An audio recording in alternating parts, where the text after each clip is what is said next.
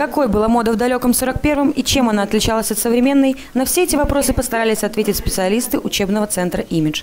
А помогли им в этом модели, примерившие образы жителей Бреста в годы Великой Отечественной войны.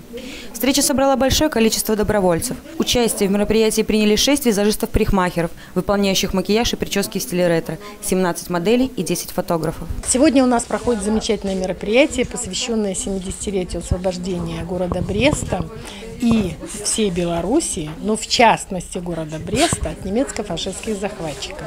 К этому мероприятию мы э, приурочили э, замечательное такое дело, которое позволяет мастерам, парикмахерам, визажистам, фотографам а, показать свои возможности э, в профессиональном качестве. Сегодня у нас ретроспективный такой творческий день.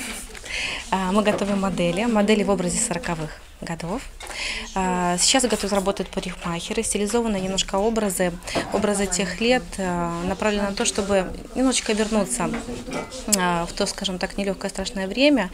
Но у нас модели есть разные, действительно. Есть в образе рабочих, есть в образе молодых юных девушек-студентов и работающих на предприятиях. Есть такие фрау, есть такие мадам-журналистки городские. Объединивший молодых людей в этот памятный день проект, помимо прогулки по Советской, включал в себя участие моделей в фотоконкурсе. Путем общего голосования на сайте Центра «Имидж» будут определяться три лучшие работы. Брещане могут внести свой вклад, проголосовав за понравившиеся образы. Данная поддержка очень кстати, ведь задачи перед моделями стояли не из легких. Совершенно еще недавно мы принимали участие э, на реконструкции крепости военных событий.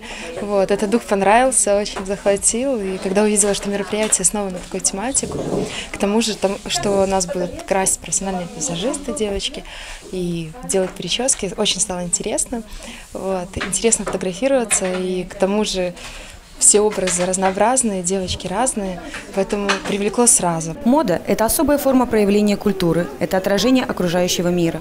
Так, понаблюдав за перевоплощением современных девушек в девушек военных лет, можно сказать о сдержанности и особой элегантности их нарядов.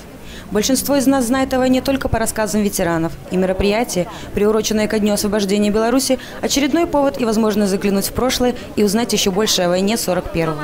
И такой общественный интерес к форуму – главное доказательство того, что равнодушных нет. Молодые люди стремятся прикоснуться к истории. Софья Бережная, Сергей Куропатов, Антон Луговкин, телекомпания Бук ТВ.